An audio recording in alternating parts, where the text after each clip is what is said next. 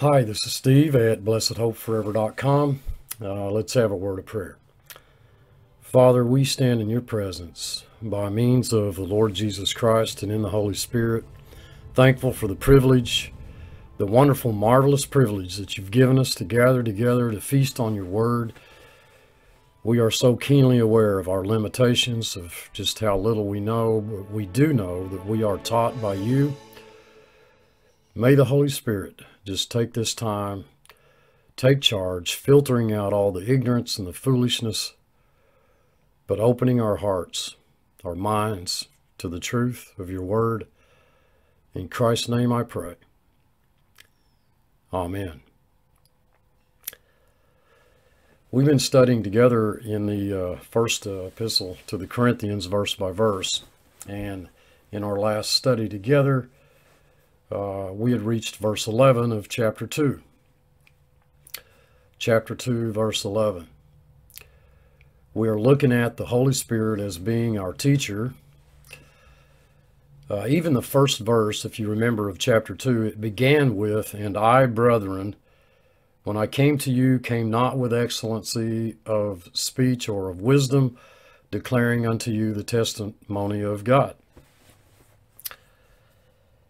in uh, verse 9 But as it is written, eye hath not seen, nor ear heard, neither have entered into the heart of man the things which God hath prepared for them that love him.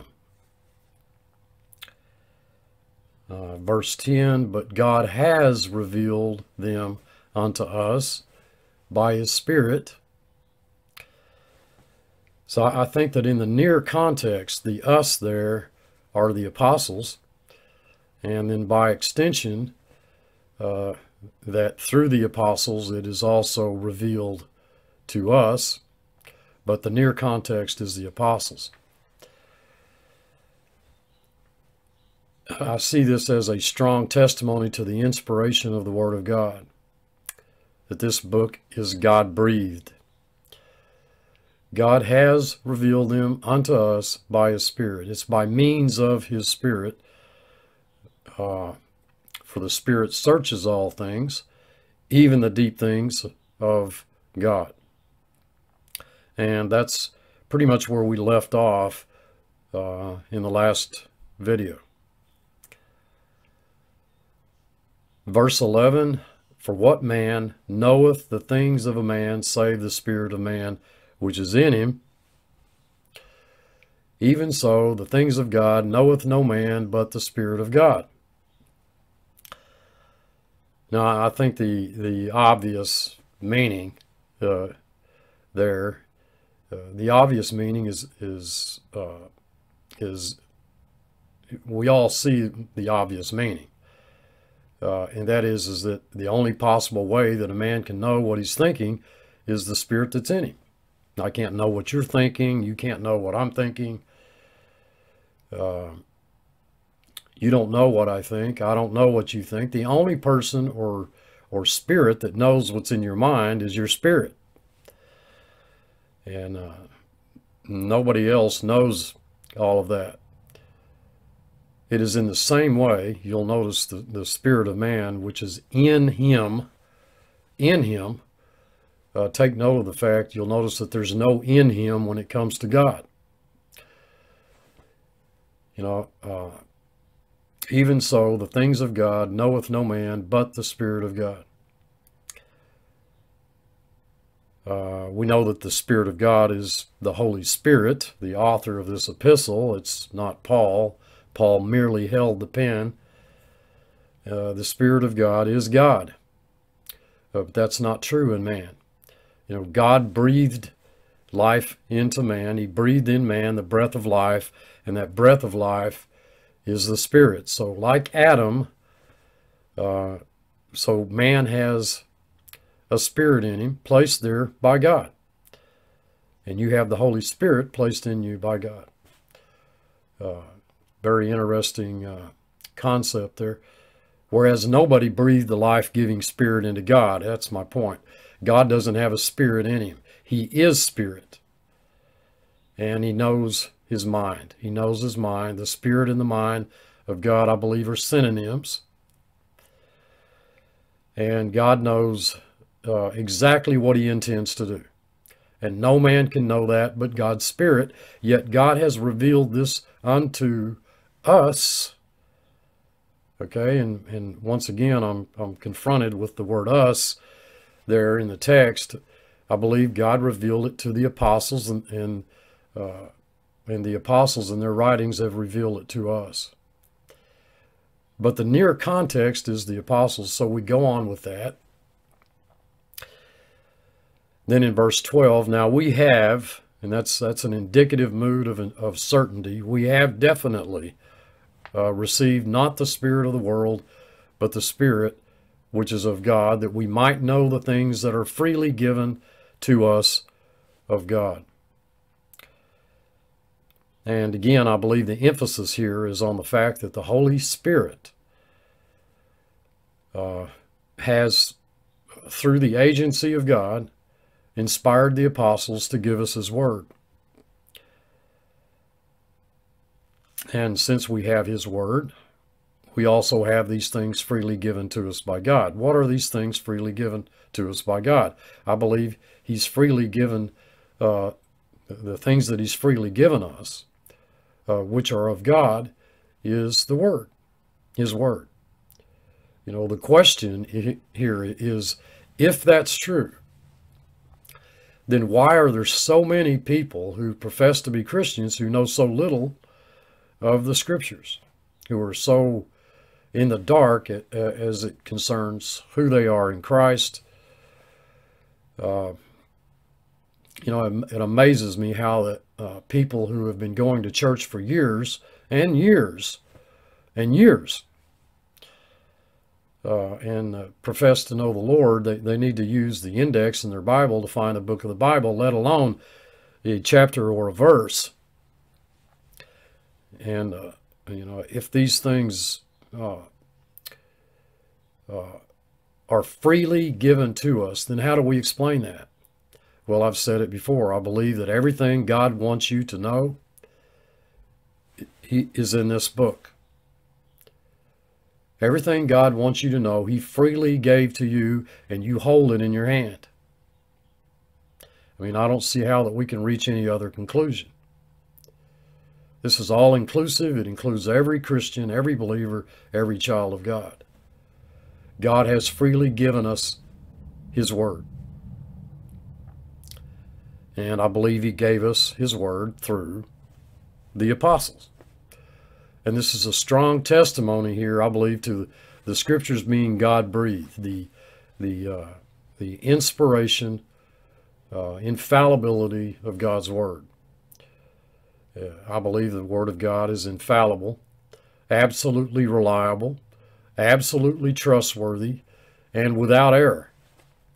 And then it doesn't matter which translations you have, which translation you have, or which translation that you use. There's so much argument uh, along those those lines. You know, you've got the King James version only people and so on and so forth. I hope you use all the translations. Okay, it's not a matter of translation, but that the Holy Spirit is our teacher. I believe He can teach you no matter through what whatever translation that you happen to have.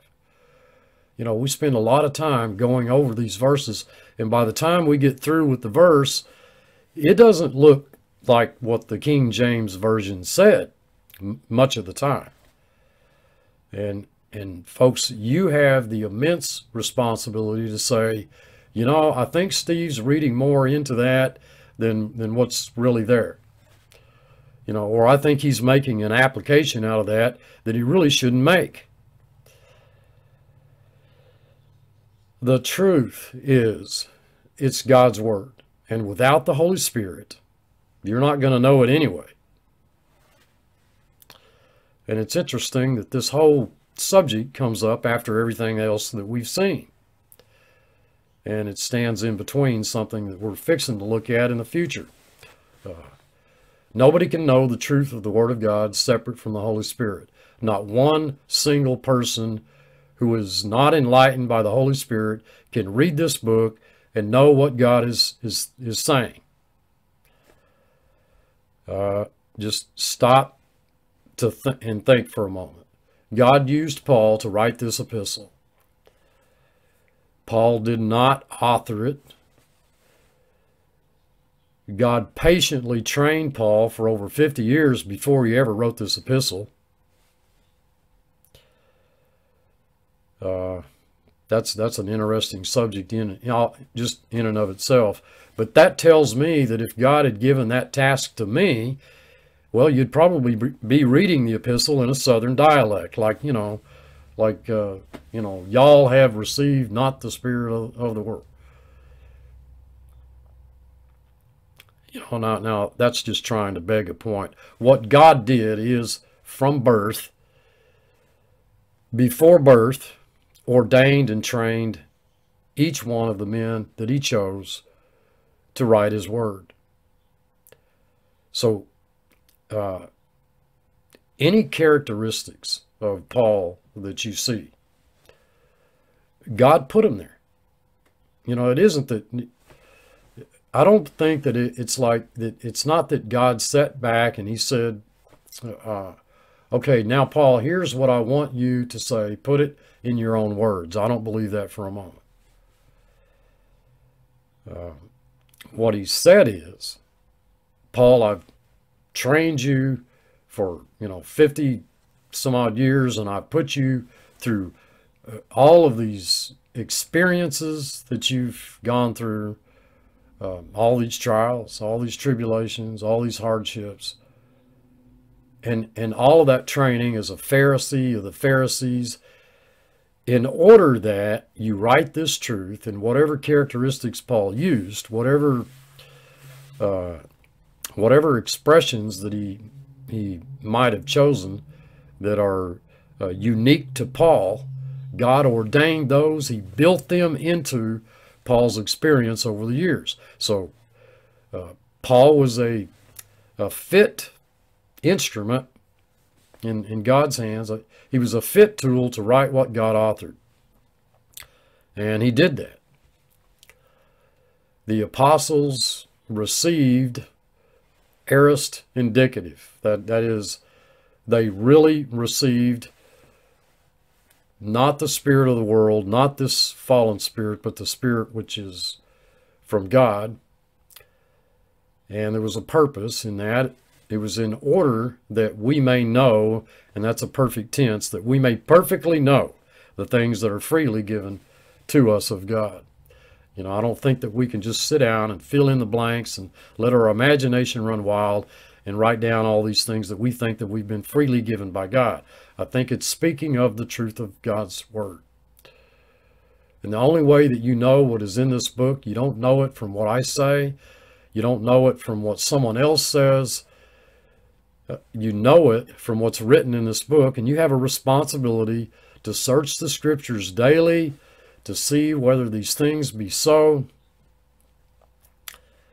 And it's uh, and so it's those things that we speak.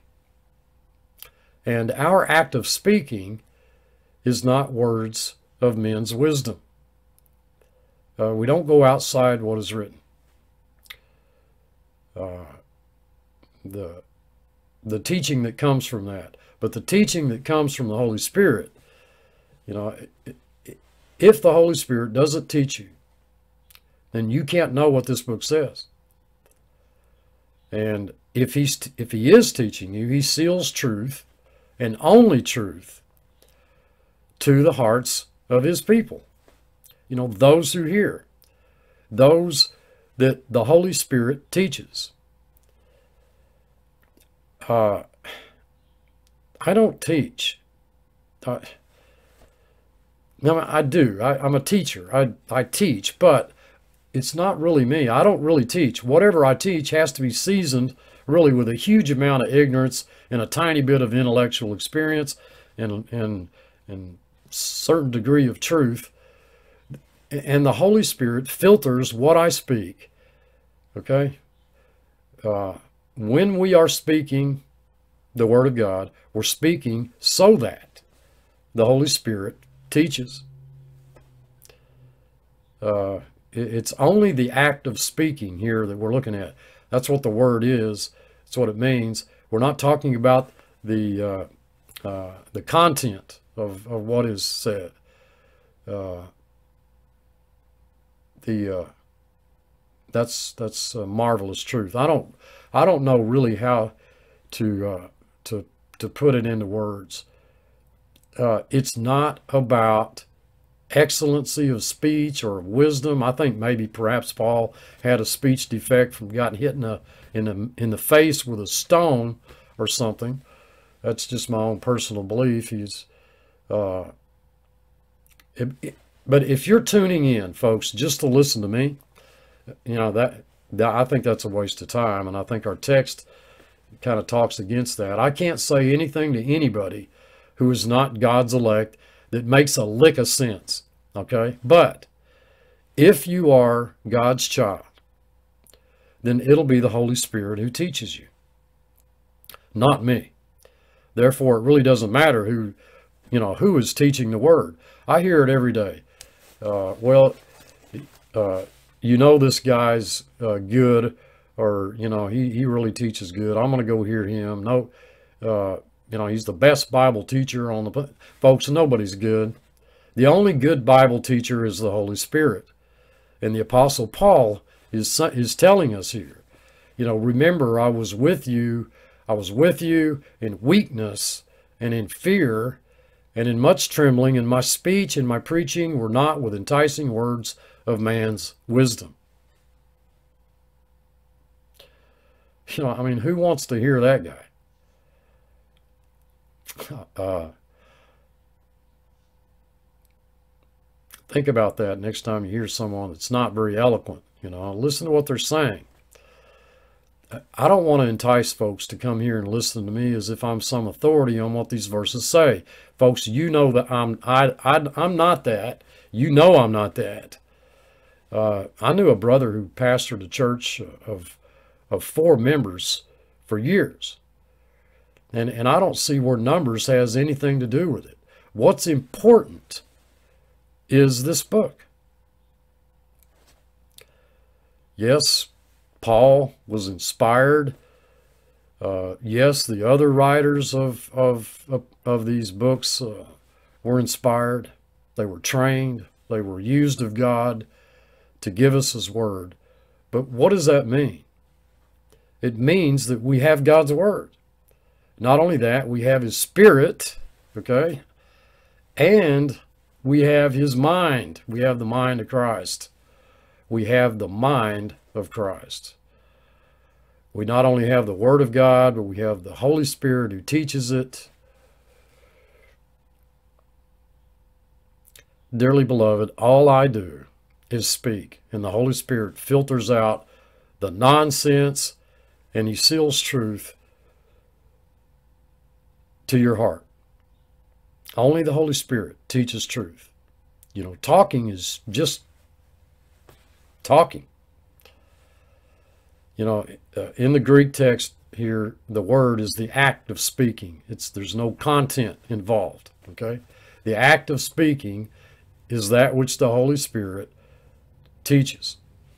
So, you know, I can talk, and uh, sometimes I love to talk, sometimes I don't, but I can talk, and I can have absolute confidence that in all of my stumbling around and in my lack of understanding, the Holy Spirit uh, uh, will teach truth to whom he wants to teach spiritual truth.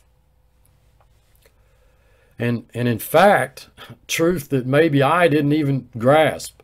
You know, uh, in my experience as a Bible uh, teacher uh, over the years, you know, I I count the number of times I've I've labored, I would, I would labor over a passage of scripture only for someone to make some comment that shined light on it where that I'm like, well, why didn't I see that? Uh, I read, I read uh, most of your comments, you know, and, and some have talked, said about, you know, talked about how much these videos have helped them, these verse by verse. But listen, uh, uh, I don't think that most ministers realize just how smart that their congregations are. You know, I'm thrilled that the Holy Spirit is doing the teaching. If I'm doing the teaching, okay, number one, it won't be right. And number two, it won't be logical. You know, and number three, it won't be consistent. But with the Holy Spirit, it will be. It will be. Uh, it is He who's doing the teaching. And, and what is He doing? Well, our text says that He's comparing spiritual things with spiritual. Verse 13. That's what He's doing. And uh, now, so now you Greek students out there, you can go, you can translate your heads off. Uh, he could be, he could be explaining spiritual things to spiritual people. The word comparing there can, can be rightly translated explaining, uh, explaining spiritual things to spiritual people. Or explaining spiritual things with spiritual truth, uh, though I think he does both. I'm going to say that in our text here, I'm going to say that, that, that he's explaining spiritual things to spiritual people. I think that is, uh, that is what the Holy Spirit is doing in this verse.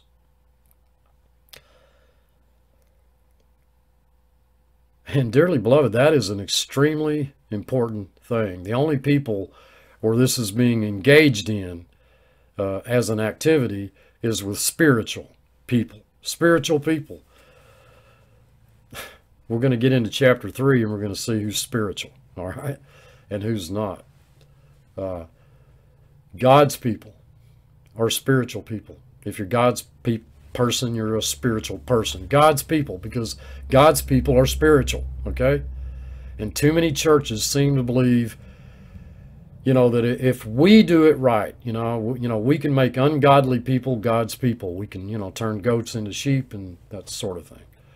When, when God, the truth is of the fact is that God's people have been God's people from before the foundation of, the world.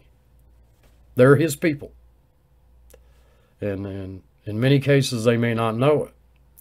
You know, Paul didn't for a time.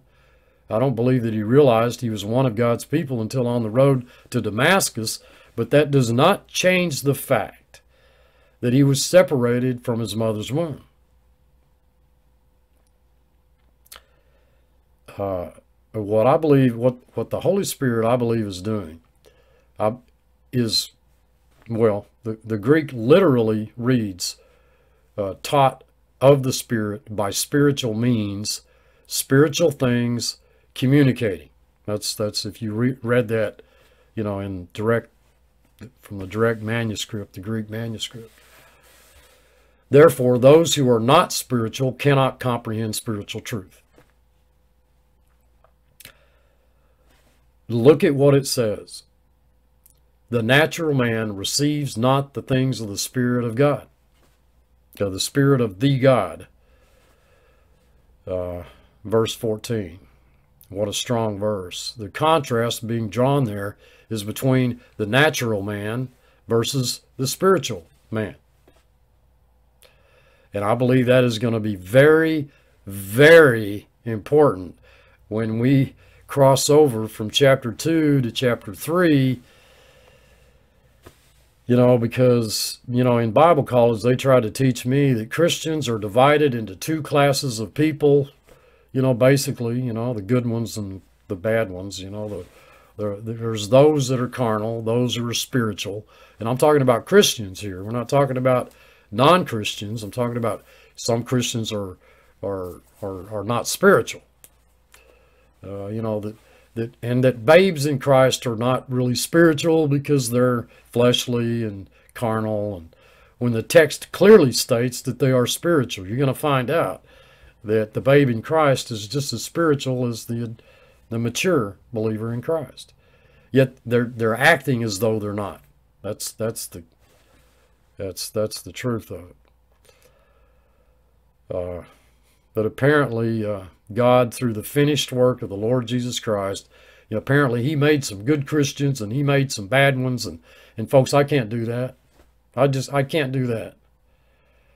I do not think for one second that that's what it says. I think that what we're going to see, what we're going to find out, what we're going to learn is, is that these beloved Corinthians were not acting as though they were spiritual, when in fact they were.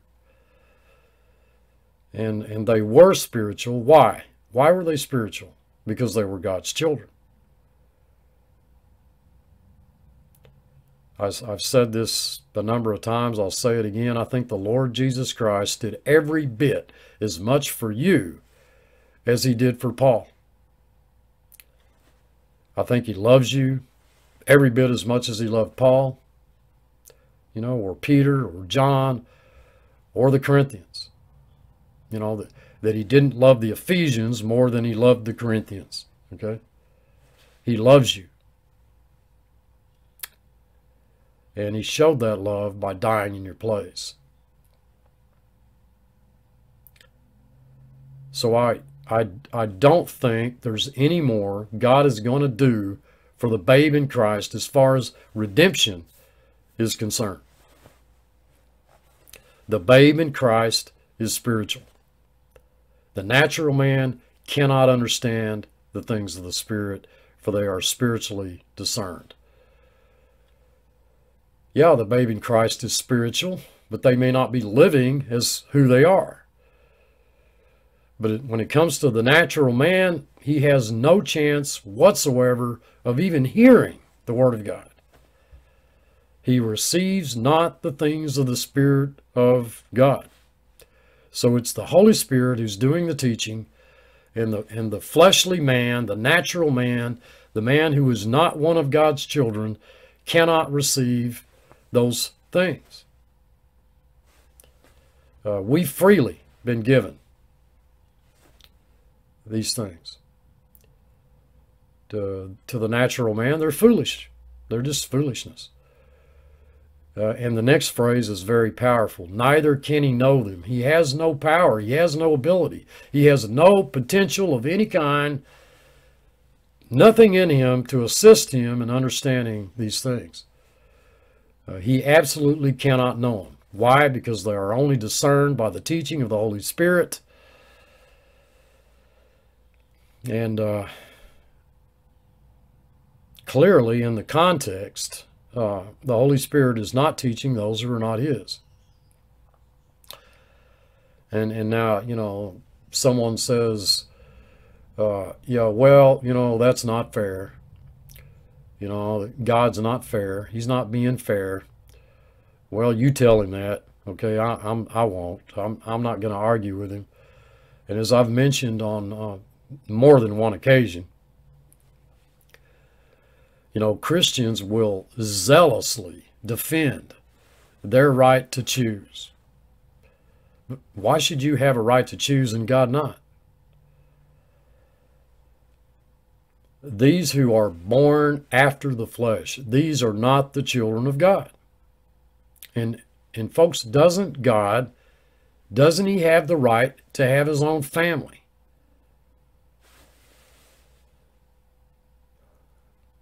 But those who are not of his family are not taught. The reason he can't know them is he doesn't have any ability to know them. You know, you can preach to them till you're blue in the face. They can't know him. Why? Because they don't have the Spirit of God. And the things that we are talking about uh, in this context are the things of the Spirit of God. He that is spiritual, that is, that's the guy that belongs to God, or the gal that belongs to God. And he that is spiritual judges all things. This man who uh, who is only a natural man only judges natural things. Okay, the spiritual man can judge both the natural and the spiritual. And yet he himself, listen, look at what the text says, he himself is judged of no man. There is therefore no condemnation for those of you who are in Christ. No condemnation. Romans 8 1. A marvelous truth. Uh, you know, why is it that that that too many Christians seem to think that there's some impending terror hanging over their heads because of, of sin or unconfessed sin or whatever. Dearly beloved, there is no judgment for those of you who are in Christ. None. And, and you're not unjudgeable because of anything that you did. But by the blood of his cross. It was through the blood of his cross that he presented you holy, unblameable, and unreprovable in his sight. This is how every single one of these Corinthians stood before God. Please understand that. Please, dearly beloved. Uh, the love of God is seen in the sovereignty of God. He loved us so much, He died in our place. For who has known the mind of the Lord that he may instruct him? But we have the mind of Christ. As new creations in Christ Jesus, we have the mind of Christ. If you're a new creation in Christ Jesus, you have the mind of Christ. Now, what is the mind of Christ? If it isn't that he loves us with an everlasting love, that he gave himself in our place, that he'll never leave us nor forsake us, that he holds us in the hollow of his hand, that he directs our steps, that he knows the paths that we take, that he bottles our tears. What more, folks, could we ask? We have the mind of Christ.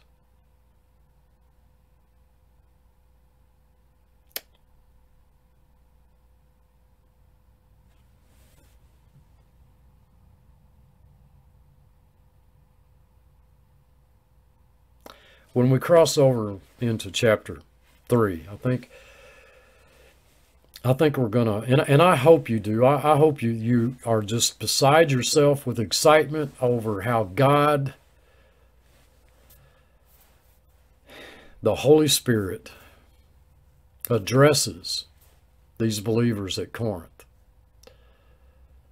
Um, I've often stated, and, and, I, and I, I truly do believe this, theological error precedes moral error. Whatever you, you, you can say about, whatever we can say about the Corinthians, in all of their, I don't know, what, what, what word should I use? All of their ungodliness, their filthiness the, of the flesh, for whatever you can say about them. I am absolutely, if I know anything, I'm absolutely positive that the Holy Spirit is well aware, was and is well aware of the fact that these beloved Christians at Corinth, they were his people, that they had an old man that could do nothing but sin, but they were all made new creations in Christ Jesus. I'm not talking about the natural man who cannot hear the things of the Spirit. I'm talking about God's people that sin was no longer the issue, sin was no longer the question. That whole issue of sin had been settled at the cross, as we see, as we saw, as when we went through the epistle to the Colossians. All of our transgressions, dearly beloved, do you not know? If you don't know, if you do not know, that you stand before God holy, without spot, without blemish. I pray that, that you do.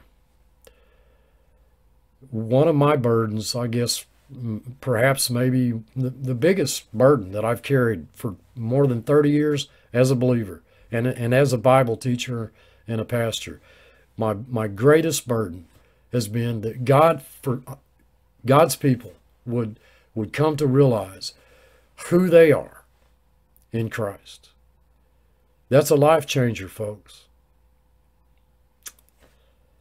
It is truly a life changer. Look, I love you all.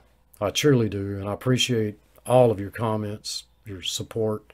Until next time, this is Steve. Thanks for watching.